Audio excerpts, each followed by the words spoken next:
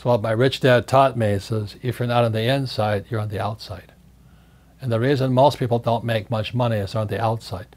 You know, like just now, Uber and Lyft floated on, this, on the um, stock exchanges. The insiders already made their money. Now the outsiders come in. That's the game.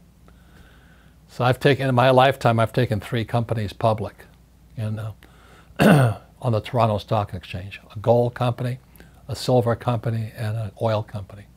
I did it because I wanted to find out what it's like to be on this side, on the B and the I side.